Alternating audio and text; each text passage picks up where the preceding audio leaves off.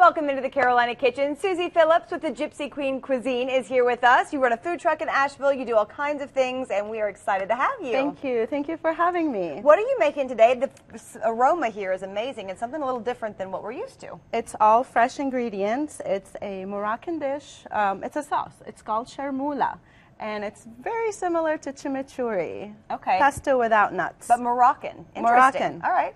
And it's it's lovely because it is such a versatile sauce. It goes well with fish, poultry, meat, um, any kind of seafood. Is really. that just parsley? That's sorry. That's a mixture of parsley and cilantro. Okay. And we are just gonna zoom it with it's a bunch a bunch of each and kind of a handful of garlic and you can go, this is just the typical basic recipe. You can adjust this to, to whatever flavors you like. And this is just salt and pepper mixture. And you like quite a bit of garlic, it looks like. I love garlic. Okay, making sure. I was like, Keeping the vampires, girl, away from me. And here we have uh, cumin, uh, Spanish paprika, and a little cayenne, because I do like a little kick in my food too. Just a little bit, just to kind of balance out the other flavors.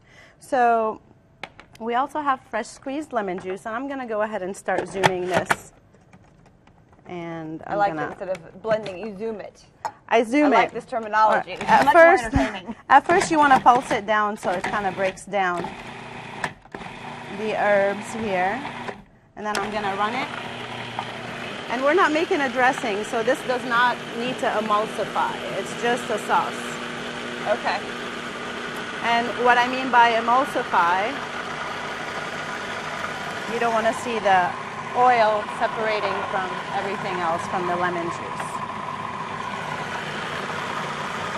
Now, what kind of oil did you put in there, Suzy? Extra virgin olive oil. Okay. Because I know sometimes chefs don't like the flavor of the extra virgin olive oil, but you like it for this. I do because it's used as a sauce, just like a, a dressing. So you want that taste that good olive oil taste or something fruity. You don't have to use olive oil, but definitely a good oil okay. would be nice.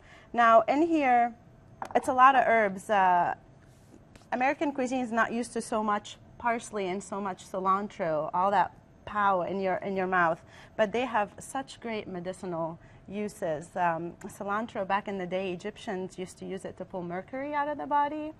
It uh, lowers uh, it lowers cholesterol and pulls up bad cholesterol. Takes away bad cholesterol, right, raises uh, good cholesterol. Interesting. It's good for digestion, nausea, um, and then parsley is an anti-inflammatory, high in vitamin C, K, B12. So you're doing great by putting all of this stuff. And again, this is all super healthy ingredients. I mean, this is it right here. Super healthy. This is it. And then I put sometimes tomato paste it depends what kind of, uh, if I'm using fish, I like a little tomato punch. So I just want the viewers to know that they can add a little tomato paste. okay. This.